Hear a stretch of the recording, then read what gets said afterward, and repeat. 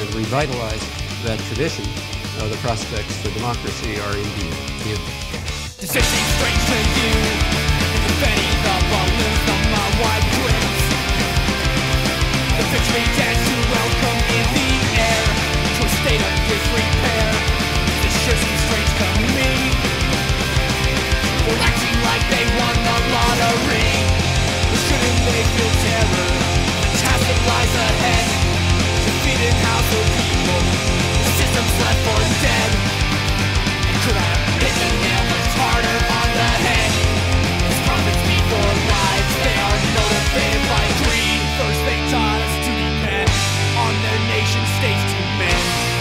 tired minds, our broken bones, our bleeding limbs. And now they sold all the splits and contract out the tourniquets. And if we jump through hoops, then we might just survive. Is this what